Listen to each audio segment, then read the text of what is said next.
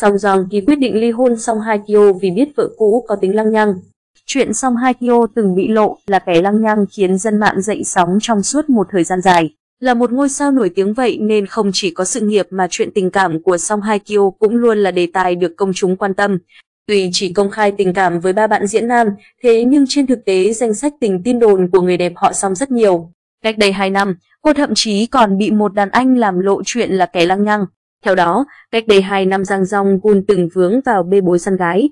Chưa dừng lại ở đó, loạt tin nhắn nam tài tử gửi cho bạn là Du Jin Mo đã vô tình khiến Song Hai Kyo vướng vào tranh cãi.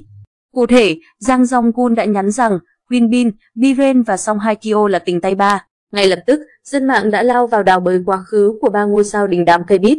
Năm 2004, Song Hai Kyo và Biren đã hợp tác chung trong bộ phim Ngôi nhà hạnh phúc.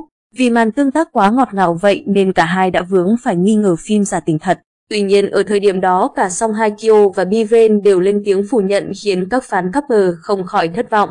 Đến 4 năm sau, Song Hai Kyo và Huyên Bin đã cùng hợp tác trong dự án The War Line. In. Sau khi đóng phim chung, cả hai đã công khai chuyện tình cảm. Dù vậy, mối tình này cũng đã kết thúc sau 3 năm. Nhiều người cho rằng có thể ở thời điểm đó Song Hai Kyo và Biven đã thực sự hẹn hò cùng nhau.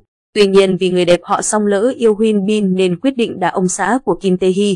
Chính vì dòng tin nhắn của Giang Jong Gun, Song hai Kyo từ nữ thần vạn người mê trở thành kẻ có tính lăng nhăng, đa tình. Không những vậy, còn có ý kiến cho rằng Song Jong Ki quyết định ly hôn vì phát hiện ra tính xấu của vợ. Chuyện này từng gây chấn động cộng đồng mạng suốt một thời gian dài.